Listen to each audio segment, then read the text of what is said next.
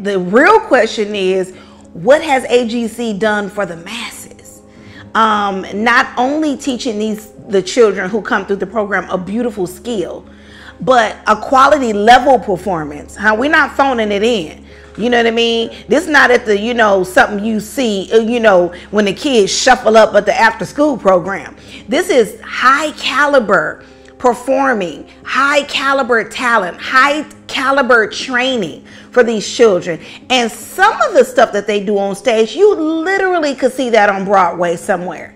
You know, and I think that it's more than what um, AGC does for one person, it's what they do for the community. Um, I think AGC for me aided in some of my humble beginnings just because they really teach you to use kind of every resource you have that you and every talent that you have to the best of your ability. I feel like all of us, everyone who went through the process, through the education of AGC, is, if nothing else, prepared to shut up and sit there, be on time, to not speak. I am just became more open um, after AGC and just I brought out the character in myself from AGC as well. They, they would say, it doesn't, it's not kid theater, it doesn't feel like children's theater. And I think that's one of the things that made me love AGC. Like, it made me appreciate it because they didn't treat us like, oh, we're little kids and we're just getting on stage and do this and do that and you look cute. We were actually learning even though we were children, we weren't held to a standard of like, this is children's theater. We just so happen to be children doing theater. And so we were held to an industry standard. And starting off my career that way, I was so much more prepared than any of my counterparts, you know?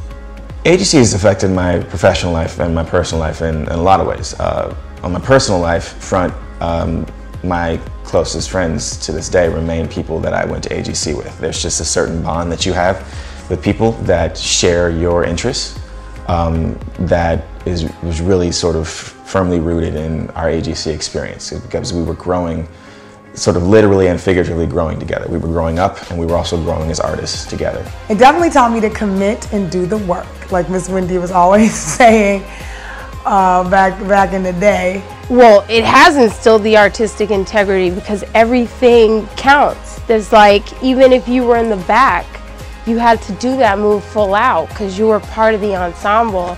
So yeah, commit to show up and to like work hard. It was such like a professional environment. It was fun and stuff, but like we were really doing it like at a professional level. You know, um, with such a pure um, foundation, it just can only go up. Um, you know, I'm sort of, I think all of us alums are sort of waiting and, and, looking forward to the day when like we all have become so firmly rooted in our careers that we can come back and just help it even grow even higher. You are in an open enough environment to truly be who you are and kind of break down those walls as an entertainer. And you know, you may mess up in dance class, you may find it hard to dig into your character as an actor, but at the end of the day, they were there to help you peel back those layers. It was called All God's Children, but I feel like Amazing Grace Conservatory was just so much, it just rings true to what it really is. And I think for so many people, it's changed people's lives. Talent-wise, AGC forced me to flex every muscle, from improvising to like being hard on myself, critiquing wise, and um, they really have like a, a blend of an indie spirit and a professional spirit that I definitely took to in my in my own career, in my own work. And honestly, quite honestly, I have not found a place like that since I've left AGC. And I've gone to other acting schools and all that, and nowhere has been like AGC. Congratulations, Wendy. Congratulations, Wendy. Congratulations, Wendy. Congratulations, Wendy. Congratulations, Miss Wendy. Congratulations, Wendy. Congratulations, Wendy. Congratulations on 20 years of amazing Grace Conservatory.